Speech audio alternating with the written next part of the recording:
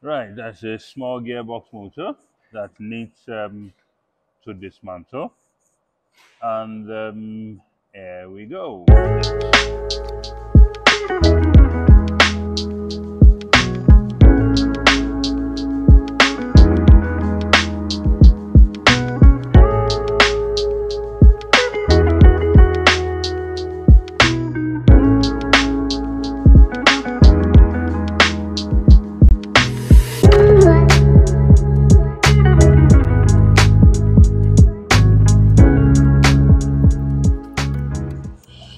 That is now complete dismantle.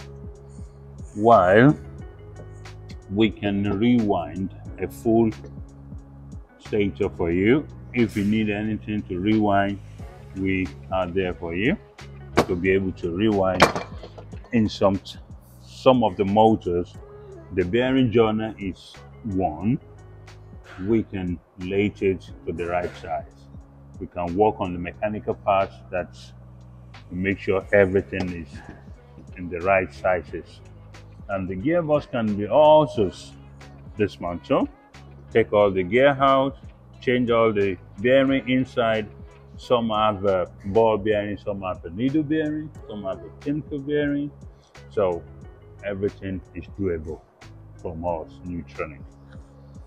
And um, yes, and after that, we need to make sure that the oil that is going inside has to be the manufacturer given oil sizes and the grade. And um, if it's using for the food company, it's going to food grade oil inside. And if it's used for the other side of the, then we put a normal standard oil that the manufacturer gives to us to put inside. The common fault on this is the shaft, the oil seal sits on it is always worn. That's a common fault on SEW motors.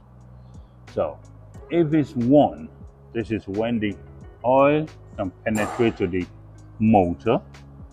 And if it's penetrated, so that needs to be repaired. The oil seal diameter of the shaft needs to be repaired. That's a normal common fault on this. And the same thing on this, the same wearing size, where the oil seal is, the oil seal diameter is always one. So it's either we, we get a new one made from ourselves if it's emergency, or we can also get it cheaper from SEW, the hollow shaft. And um, when oil hinders to the winding sometimes, sometimes it might pass the search test. We put it on the search test on the machine that give us exactly what we need to know about every job. And when we have that, if the winding is all right, we steam it, we put it in oven to dry. And if it's the one that they don't pass the search test, we will need to rewind it. And um, yeah, that's a common fault on the SEW gearbox motors.